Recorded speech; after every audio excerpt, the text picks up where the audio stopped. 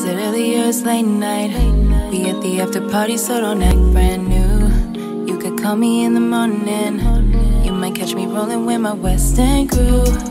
And you gon' wanna match my high. You be catching feelings, I can see it in your eyes. Got three bad bitches right by my side. You can tell me shit, I'm gonna enjoy this ride. Henny in my cup, I don't give a fuck, I'm tryna feel right.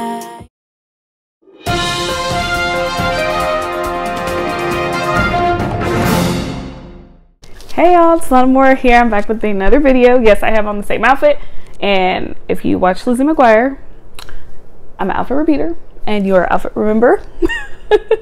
so yes, um, I'm back with another video and this week's video is going to be pretty much um, how to move up in Amazon. Like a lot of people want to know probably, well, we hear all this stuff. Well, how do you move up? Like how can you literally move up or in Amazon pretty much?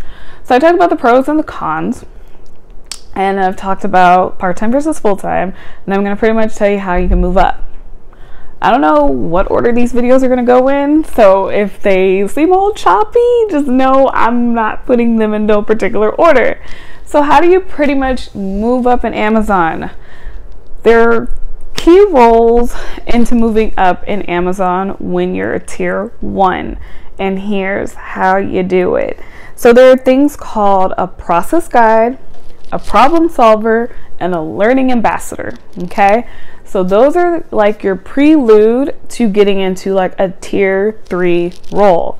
It looks good when you have one of those three things on your resume, especially if you're not go, coming in as an external hire. It's a little different when you're coming in externally, but if you're trying to internally move up, like let's say you started with the company as a tier one and you're like interested in moving up to tier three, then next to a level four, a good thing that's on your resume to have is a PG, which is a process guide, and I'll explain to you a little bit what they are.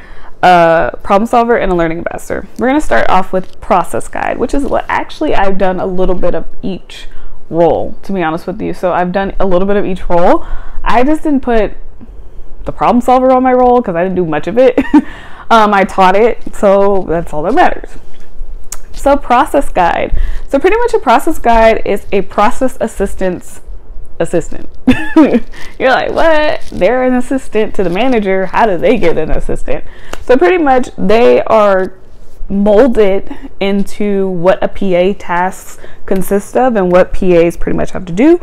Um, they pretty much do those PA tasks. So pretty much if that PA decides to take a full week's vacation, their PG should be able to fill their process guide, which is PG for short, should be able to fill into their role when they're gone. And pretty much by them being in that role, that looks good because if the manager's there, they can pretty much see what the PG's doing and then consider them for that next role. Like, yes, this person is ready to fill those shoes, like being in a process assistant role. So that's pretty much what the process guide does. They help with laboring, labor management, like placing associates where they have to go, looking at numbers, looking at data, looking at everything, pretty much what the PA's role consists of. That's what the process guide does. Um, some people are process guides for three months, some are process guides for longer, depending on um, how long it takes for the those positions to open up. Because sometimes when you're in positions like tier three roles, um, a lot of people kind of get comfortable in these roles. I'll be honest with you. Like when you're in a tier three role, some people do get comfortable and are PAs um, pretty much for three years or two years or, you know, four years. You know, it just depends. And there's nothing wrong with that because, you know, some people like to get more experience in whatever that role is. The next is a problem solver. So, pretty much a problem solver is like I wouldn't say a key role in the building, but it's a key role in the building. Um, a problem solver, pretty much, it says in its name, a problem solver. Um, so pretty much, they are correcting any issues or problems that may come up online in operations. So if an associate is on the line, depending on the building, it could be a fulfillment center, an IXD center, a sort center, um, if it's in a sort center, you're probably pretty much correcting um, miss something, miss, what is it, misships? There you go, misships. You're probably correcting labels, correcting like wrong address labels or cleaning up spills. Um, at a fulfillment center, you're pretty much re figuring out the same thing like customer orders, um, customer um, things that customers have ordered, and vice versa. And I think in a fulfill in a IXD, you're looking at things that a another Amazon ordered. So pretty much, you're like you're learning a lot of problems that um, that you can pretty much fix. Um, and a lot of people depend on the problem solver depending on the department you're in to help fix those problems. So if there's like a barcode that's not working, a problem solver can pretty much reprint a barcode. Um, if there's anything fraud related, a problem solver can pretty much report that, right? So it's just basically they are literally there to solve the problems and it looks good because a lot of computer complex skills skill set to have and it looks good when you are moving up in roles such as quality. So they do have a department that focus strictly on quality. So if you're a problem solver and that's something that's usually your pathway. So a PG's guide, uh, I would say a PG, your their guide is pretty much their roadmap, I would say, to moving up. It's pretty much your process guide, then you go to a PA. Ideally is how it should work.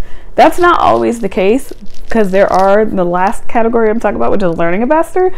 Um, sometimes they get into PA roles, and I'll get to that in a minute. Then, if you're a problem solver, eventually you'll move into quality, pretty much into that department.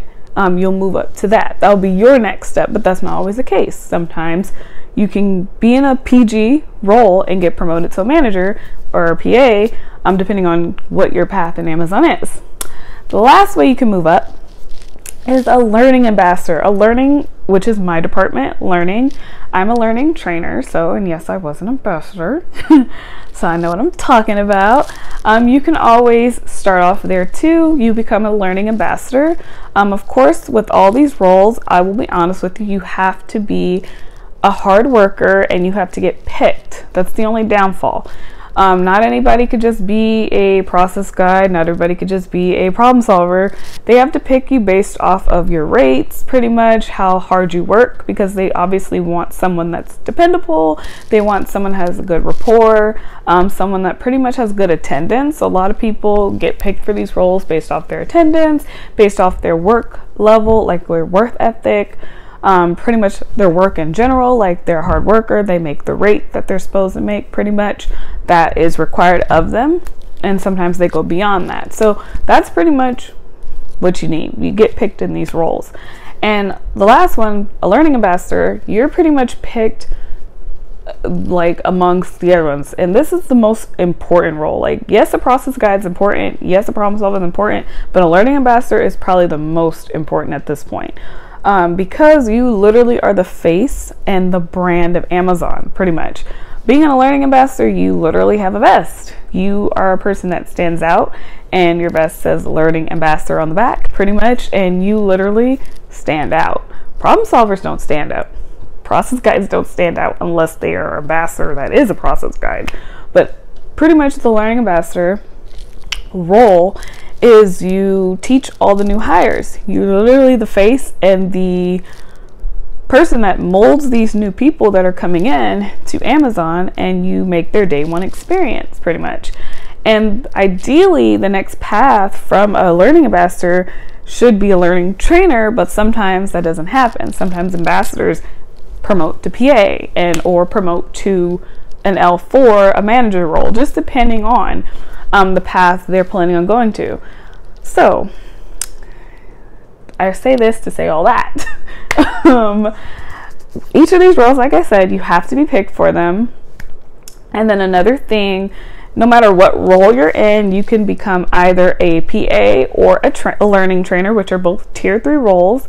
And I will get into that too. If you want a video um, of a process assistant versus learning trainer, let me know because they're both tier three roles. And I think people tend to realize they don't realize my role is the same as a PA until I actually have to explain them. But if you want to know, let me know.